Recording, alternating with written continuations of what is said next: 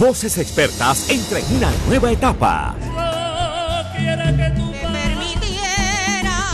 No me preguntes más. Y mañana comienza la semifinal en un nuevo escenario, donde los participantes darán lo mejor de su talento para impresionar al jurado.